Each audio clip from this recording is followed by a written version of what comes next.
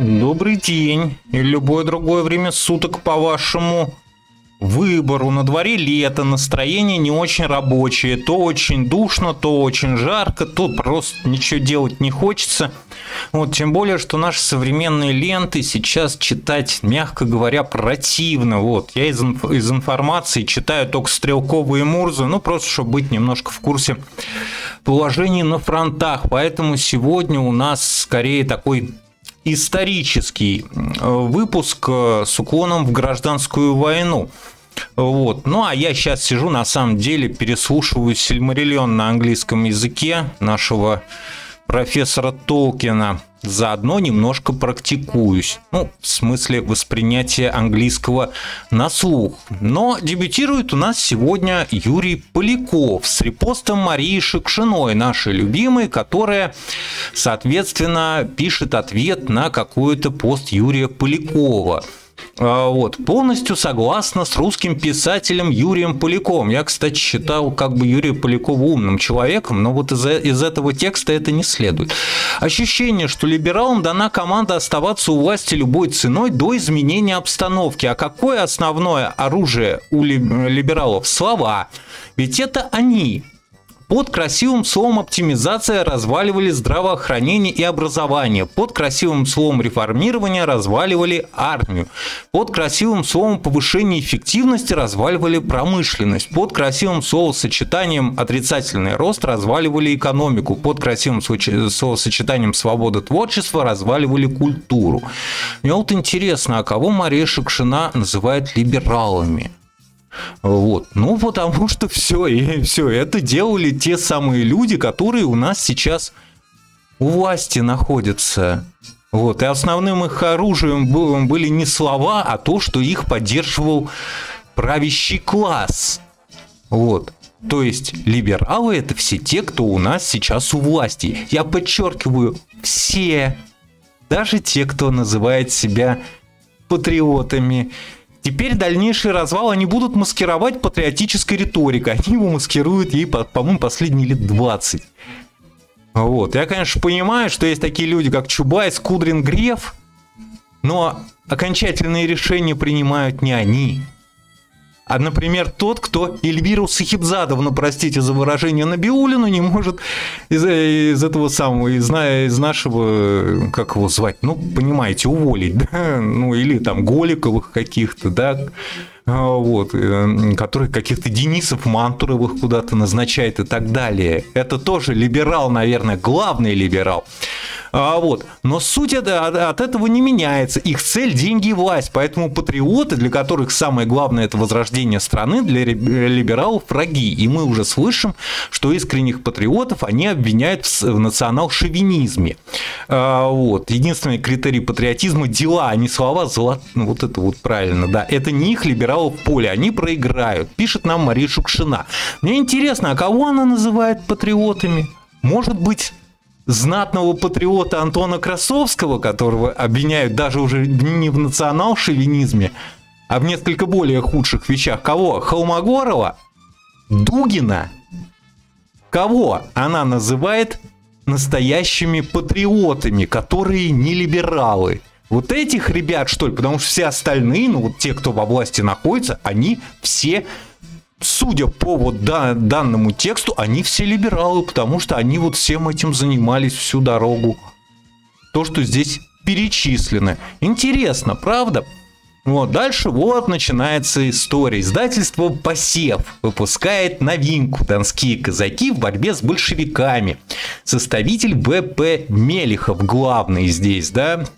Вот, соответственно, на материалах мемориал музея «Донские казаки в борьбе э, с большевиками. Вот. На обложечке у издательства «Посев» у новиночки, вышедшей в открытую продажу, она там продается прямо у них на страничке, да, вот, соответственно, генерал Краснов, преступник, военный, коллаборационист, пособник Гитлера, да, то есть человек, которого повесили за шею, да, и, насколько я понимаю, так и не реабилитировали. Интересные картиночки у нас на обложечках книжечек издательства «Посев». Андрею Ганину и Василию Жановичу Стрелкову пламенный привет. Ой, не Стрелкову этому, как, господи, Василий Жанович Цветков. Стрелкову тоже, кстати, привет. А, вот. А, составитель ВП Мелихов. Кто такой ВП Мелихов? Это хозяин этого самого музея, у которого во дворе стоит памятник Краснову на частной территории, так сказать, который до сих пор снести не могут. Чтобы было понятнее, кто такой ВП Мелихов, я запустил ролик, где я разбирал один его, соответственно, э, текст про то, как Дзержинский выпускал указ о расстреле заложников. Рекомендую ознакомиться. Ну, э, коротенько, текст ВП Мелехова э, представляет собой оголтелое вранье. А, вот, э, соответственно, такое же оголтелое вранье представляет собой пост русской гвардии про Тамбовское восстание. А, вот, очень люблю эту тему но тут просто надо вчитаться в сам текст. Во время Тамбовского восстания только в одном Тамбове большевики э, беспощадно уничтожили 240 тысяч человек. Тамбовское восстание 20, -го, 20 -го года было а, лишь одним из сотен протестов против новой власти за всю гражданскую войну.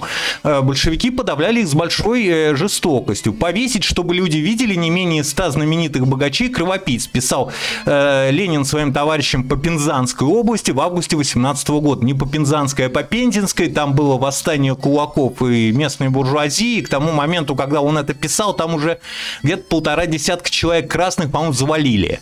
А вот. Ну, Ленин иногда, да, выражался жестко очень в своих телеграммах. Например, предлагал повесить Луначарского два раза. Луначарского так и не повесили. Что самое интересное, этих ребят тоже не повесили, да, вот эти вот не менее ста. Да, это разбирал Егор Холмогоров в своем ролике про сказки канала Царьград Андрюша Афанасьева. А вот, однако именно в Тамбове восстание приняло огромные размеры. Новое правительство не могло справиться с восстанием до 22 года. И ни перед чем не останавливались. Целые деревни бомбили и поджигали. Ну, на самом деле, э, бомбить деревни в то время с нашей-то авиацией – это бред.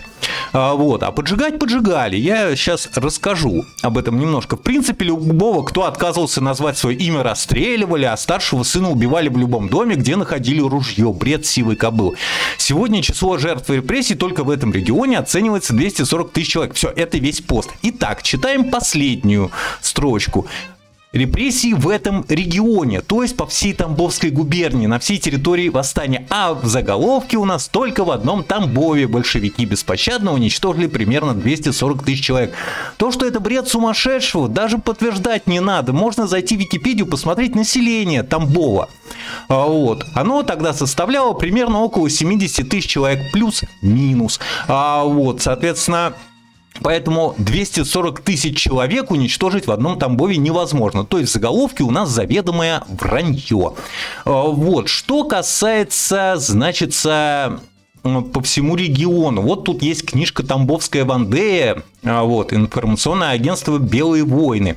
Э, тамбовский краевед э, Борис Владимирович Сенников нам пишет, да, вот на 135-й странице, если мне память не изменяет, здесь есть раскладка, э, значит, по населению, значит, Тамбовской губернии, да, а, вот, как оно увеличивалось, уменьшалось. Вот э, население городов Тамбовской губернии без пригородов э, или уездов, непонятно, как-то очень криво написан документ. Ну, краевед пишет, не историк.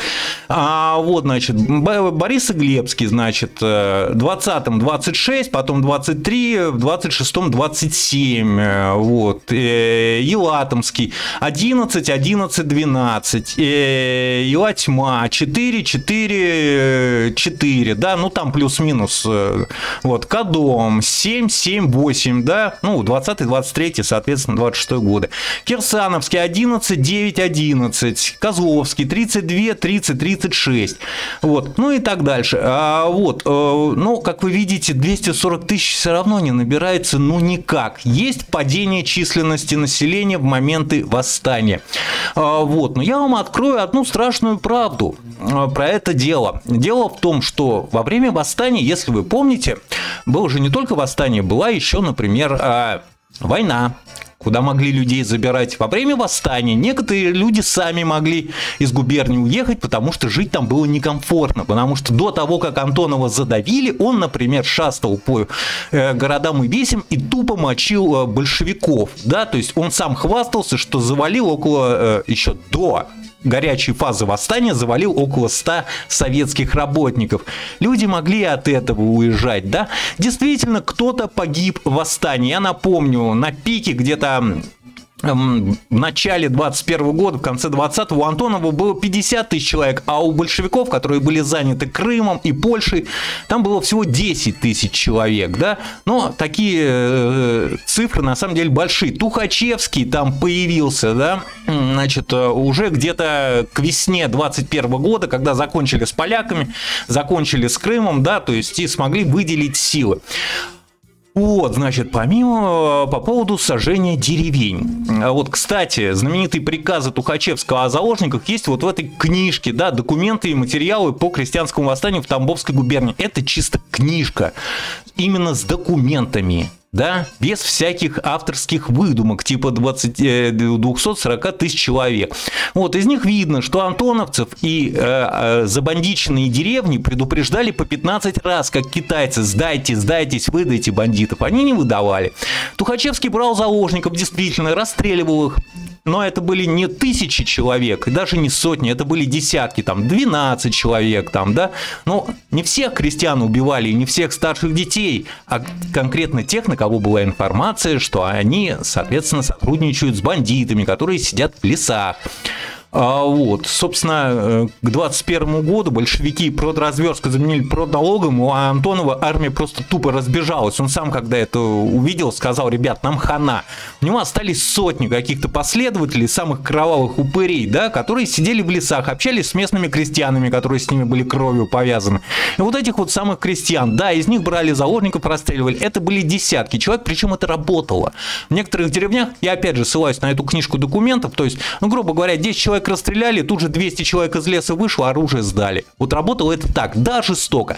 Вот что касается сожжения деревень. Деревни сжигали, да, но предварительно выселяя оттуда население. И вот это вот падение э, численности населения, да, в момент восстания, оно вызвано еще и тем, что крестьян, повязанных с бандитами, кулаков, замазанных там и так далее и тому подобное, просто переселяли в другие губернии. Они бомбили их с самолетов, что по тем временам, честно говоря, полная бредятина, учитывая э, просто роскошное состояние нашей авиации, вот и так далее и тому подобное. В общем, откуда 240 тысяч взялось, я не понимаю.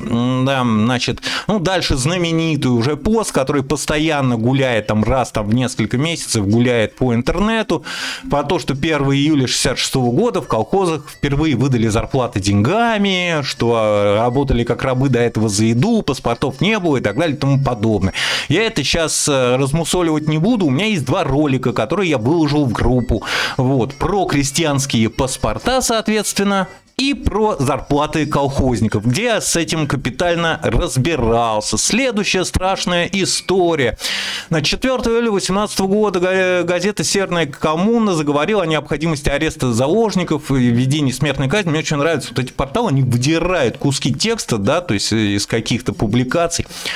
А вот, соответственно, Северная коммуна, какого города газета, еще что-то непонятно. Ну, на самом деле, это Уфа, да, то есть, короче, летом 18 года вблизи Сарапуля, Сарапула, на Каме стояла баржа, служившая тюрьмой для уфимских заложников. Среди 200 заложников были уфимские общественные деятели, да.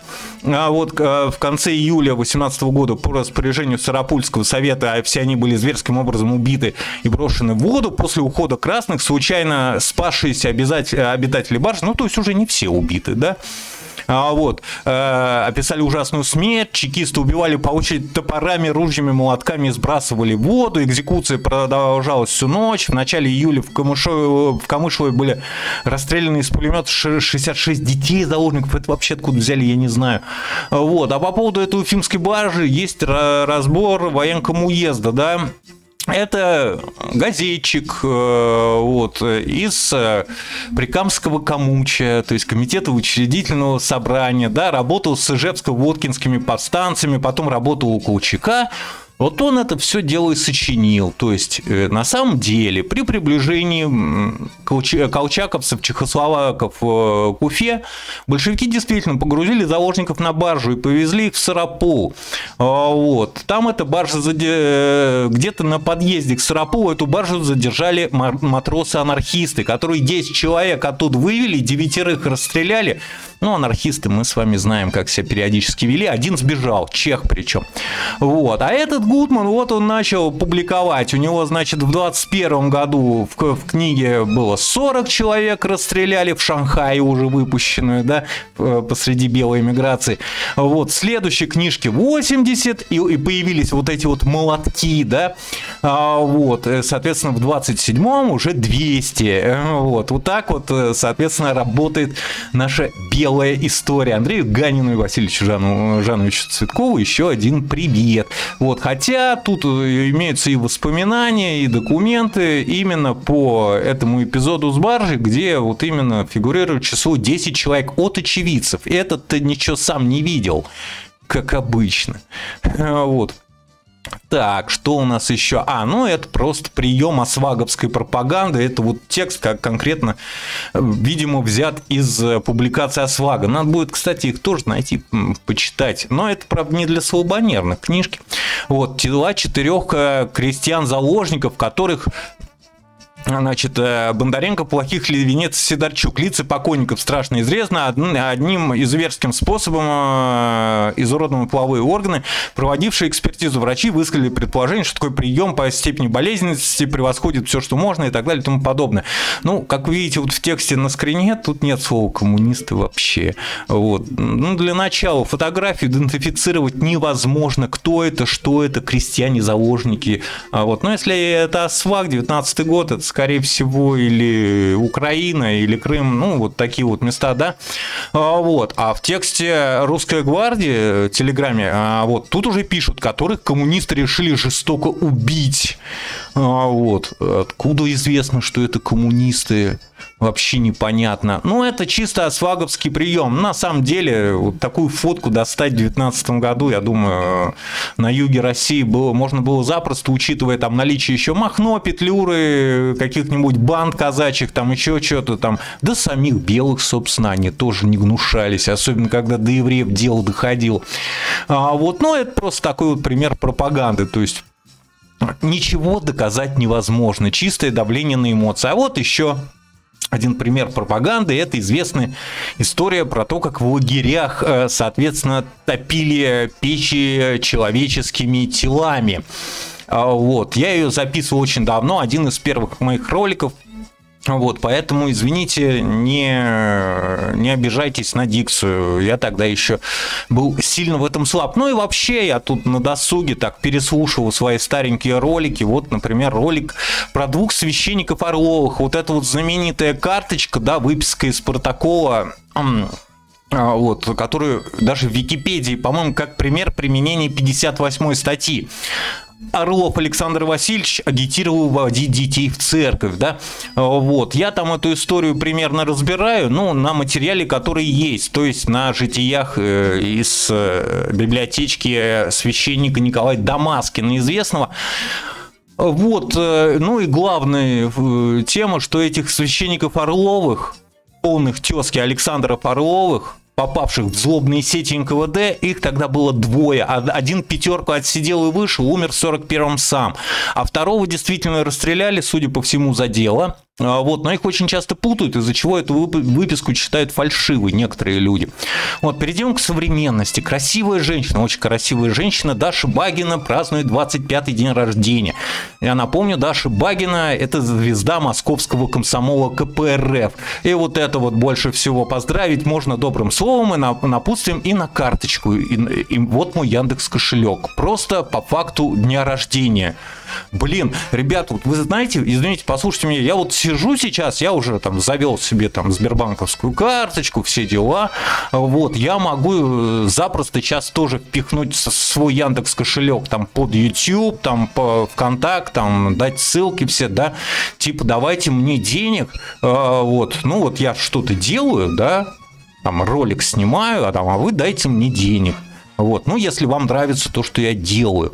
Вот. Ну, я, я, я что-то, я, я сижу и стесняюсь. Я как-то понимаю, что это, в принципе, абсолютно нормальная практика, но мне как-то это самое, как-то как неудобно. Вот. А тут вот чисто по факту дня рождения и красивой внешности. Дайте денег и все. Ну, Даш, ну, опубликуй какой-нибудь интересный материал там все в интернете там или что-нибудь.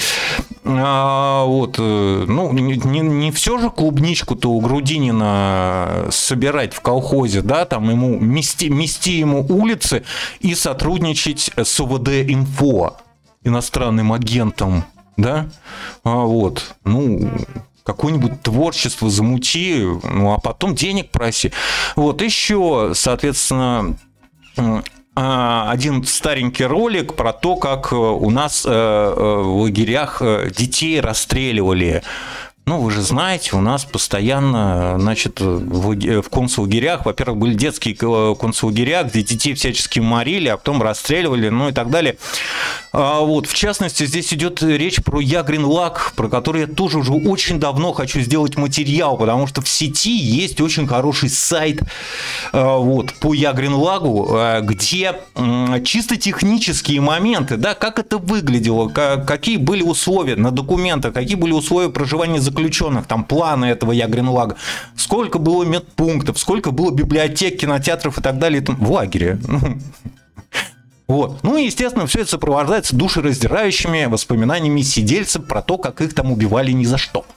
А, вот. А, я вот все хочу уже да, второй год уже с подачи Макса Мировича хочу до него добраться, но что-то вот руки не доходят. Извините, ленивый я человек, и главное, очень неорганизованный. Вот.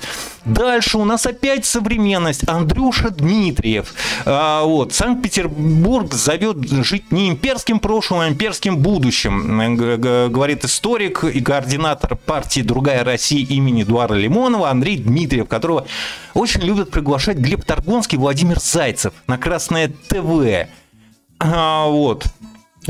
Э, Значит, это у нас э, фестиваль э, такого заведения под названием «Солнце Севера». «Солнце Севера» – это Дугинский пропагандистский институт, э, вот, который занимается пропагандами идей Дугина, то есть евразийства там и прочего бреда, да, установить глубинные свои идентичности северной столицы и ее потенциальный вклад в величие России, э, вот, исторические следы связи с Новороссией и так далее и тому подобное подобное. И вот такой вот замечательной компании заседает Андрюша Дмитриев. А, вот. Э, ну, как называется человек, который тусуется с фашистами? Я не знаю, нацбол, наверное. Еще раз повторю тезис. Э, нацбол, да, то есть э, как только рядом с большевизмом или социализмом появляется какое-то еще как бы определение, там, национальный, новый и еще какой-то, то второе слово социализм или фашизм, ну, или большевизм можно сразу отбрасывать. Вот, нацбол это обычные фашисты с националистическим уклоном. Почитайте сайт этой другой России. Они там воспевают, например, бойцов СА. Да? Им очень нравится Муссолини. Я думаю, если бы Гитлер не заморался бы каким-нибудь Холокостом, он бы им тоже нравился. Они любят барона Унгерна и так далее и тому подобное. Рога у девушки потрясающие. Андрюша Дмитриеву привет. Ну вот я тут э, по следам значит, поста про Тамбовское восстание запостил еще раз статью Бабкова, вот замечательную, да, про газы и Тамбовское восстание, как там Тухачевский употреблял газы. А, вот. Тут он, кстати, упоминает, по-моему, по-моему, этого самого историка, этого краеведа, вот этого вот самого, который где, по-моему, его, который где-то под полом в какой-то заброшенной церкви нашел специальные документы по Тамбовскому восстанию, при анализе которых выясняется, что там полная ахинея написана и вранье. А, вот, ну как с Велесовой книгой, например. Да, ну и последнее, читаем вместе. Товарищи Булкахрузды никогда ни, ничем не рас, никогда чем не расскажут. Человек читать, может, умеет, писать явно нет. Дворцы культуры колхозники строили сами на свои деньги по закону о самообложении. Сталин гений. Люди на свои деньги строят школу и за это благодарят великого Сталина. Тут вот, значит, у нас на картиночке а, вот э, постановление в ЦИК о проведении самообложения. Только оно очень красиво обрезано. Ну, размер самообложения в рублях и так далее и тому подобное. Что, типа, создается впечатление, что это местные власти, значит, обкладывают, значит, колхозников так, неким налогом, да, на который строят здравая школа, библиотеки, избы, читальни, клубы, красные уголки, детские ясли, детские сады, врачебные э, фельдшерские пункты. Ни на что другое самообложение не допускается. А, вот. Ну, я, кстати, замечу, что даже если бы сейчас вот такое было, представляете, у вас там, ну, грубо говоря, там забирают четверть зарплаты, зато строят у вас а, ну, единовременно. Потом строят у вас детский сад, которым вы пользуетесь, например, бесплатно, или больницу, или что-то. Это в деревнях все происходит. А, вот, по-моему, сейчас люди были бы не сильно против, если бы была гарантия, что, что это будет сделано именно так.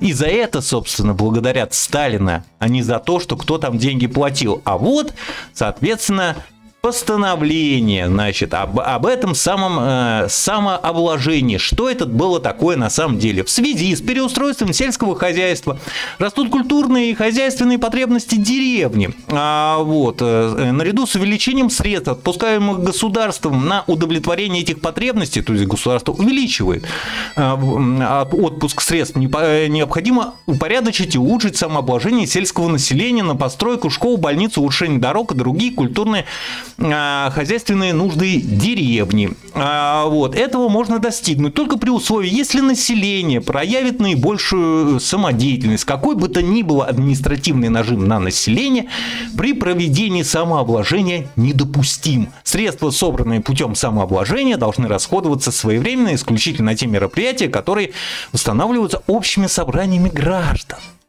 Граждане, проживающие в сельских поселениях, могут выносить постановление о самообложении для удовлетворения мерных культурных и хозяйственных нужд. Ну, то есть, сами граждане собрались, не какой-то комиссар кровавый, с наганом дымящимся, да, не местный партийный чиновник, а, грубо говоря, собрался местный совет или местный деревенский сход. И ребята сказали – давайте скинемся по постановлению самообложения, там каждый выдаст там по 10 рублей с получки, и захреначим себе медпункт, например, фельдшерский, да, или школу для детей. Они сами это делают. Воспрещается, еще раз, воспрещается самообложение на покрытие административных расходов, как то на выплату заработной платы работникам местных органов власти – на содержание и оборудование для них помещений, оплату прочих их расходов, а также на выплату заработной платы работникам местных культурных и хозяйственных учреждений. Этим государство должно заниматься. Не, не воспрещается, чтобы этим занимались сами граждане. Вот, кстати, не привлекаются э, члены артелей, коммун, соответственно, колхозов и так далее и тому подобное. Ну, потому что они тоже государству дают план так далее и тому подобное. Единоличные хозяйства, э, вот, и граждане, проживающие просто в селении, даже которые не занимаются хозяйством. Любопытный документ, да, то, то есть я вам, э, соответственно, дам, естественно, на него ссылочку, ну, хотя мы от балаевцев знаем, что весь э, сайт Истмат выдуман, выдуман там тремя людьми, и здесь все потасовано, вот, соответственно, впечатление создается абсолютно иное. Вот от документа, чем от этих вот обрезков. Меня очень радуют обрезки. А Сталину было за что в этом плане сказать спасибо. А вот, потому что он, ну как он, партия и правящий класс пролетариат контролировали, чтобы все это именно было так, что если вы скинулись, построили школу, то вы потом в нее бесплатно ходите, а учителей там оплачивает государство. Так же, как и если вы сделаете то же самое с больницей. Вот такой у нас сегодня выпуск с историческим уклоном. Всем хорошего настроения. Я буду стараться как-то все-таки э, приводить себя в психологическом плане в порядок, да, не отвлекаться на всякую фигню, а, вот, э, и возобновлять тотальный за, э, тотальную запись роликов. А, вот. Всем хорошего настроения, всем добра.